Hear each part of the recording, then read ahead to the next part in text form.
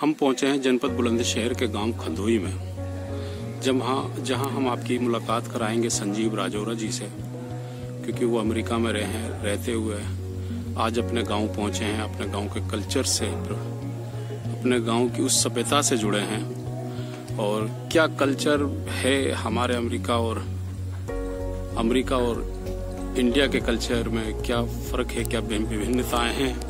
ये सारी बातें होंगी हमारी उनसे।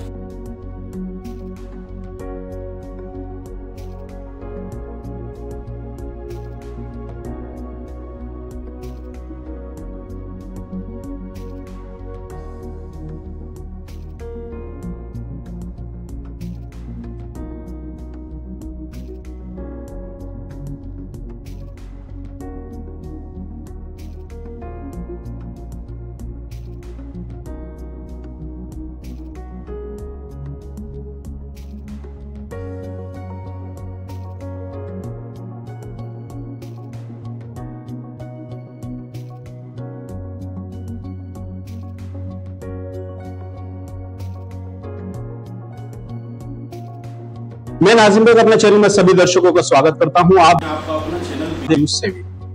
मेरे साथ निरंतर बने रहिए क्योंकि आज हमारे साथ हैं ना संजीव आदमी बनना है तो आग से गुजरना पड़ेगा। एक ने कामयाब बनने के लिए देखो मेहनत करनी पड़ती है जिल्लत सहनी पड़ती है, है? अपमान भी होता है आपका है? आप गिरते भी हो फेल भी होते हो। उन सबको झेल के जब आदमी आगे बढ़ता है तभी वो कामयाब होता है। कुछ लोग सोचते हैं यार मेरी बेइज्जती होगी अब नहीं होगा।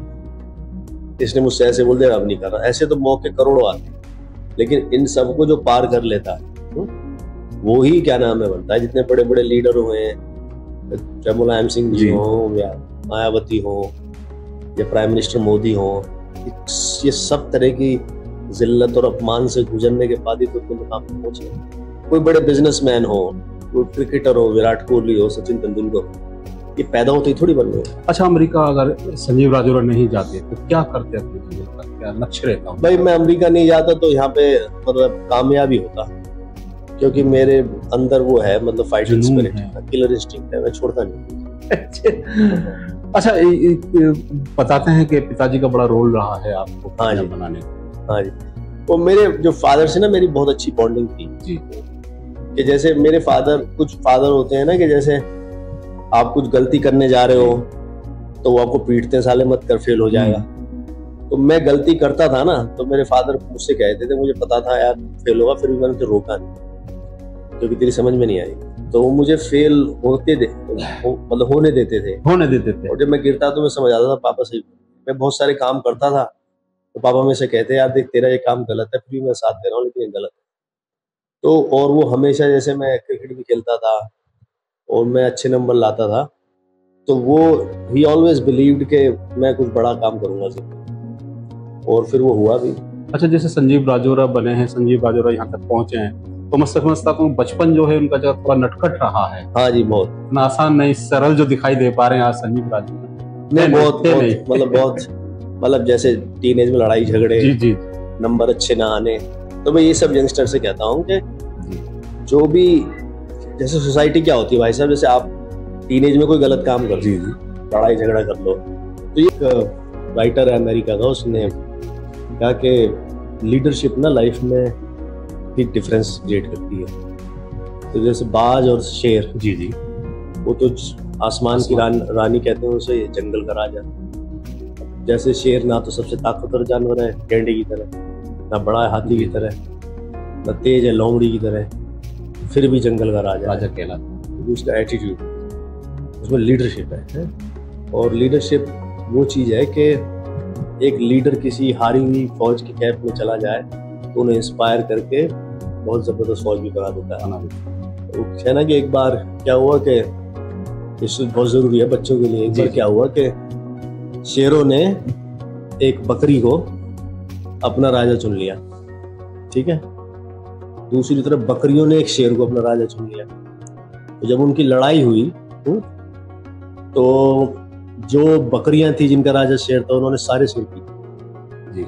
तो when army of sheep led by a lion will always defeat an army of lion led by a sheep तो जब आपका जो राजा जो लीडर कायर होता है ना तो पूरी फौज को कायर बना जी जी। और आपका लीडर बहादुर है तो बकरियाँ भी शेरों को मारती तो लीडरशिप इसी तरीके से गाँव में प्रधान कैसे चुनते ये मेरे गोद का ये मेरे परिवार का ऐसे चाहे वो कितना ही निकम्मा हो। और वो निकम्मा खुद भी पिटता है और पूरे खानदान पे भी मुकदमे लगवाता है और प्रधानी की भी अस्तेसी कर देता है। ऐसी तो होता है। प्रधान कैसे चुना जाता है कि भाई ये मेरे खानदान का है मेरे परिवार का इससे मेरे अच्छे संबंध है। वो उसके टैलेंट पे नहीं चुना जाता इसीलिए वो जो निकम्मा प्रधान होता है खुद भी पिटता है परिवार को भी पिटवाता है। आज देखो भारत की जनता ने मोदी को प्राइम मिनिस्टर चुना। ना तो मोदी खुद पिटा ना हिंदुस्तान को पिट रहे थे। जी। वो दुनिया में जाके झंडे गाड़े हो। जैसे यहाँ पे योगी जी हैं। जनता ने तो चुना है। ना वो झुकते हैं ना वो टूटते हैं। तो आप देख लो हालात क्या है। गुंडे सारे खत्म ही तो हो चुके हैं। और चुन लो किसी और को।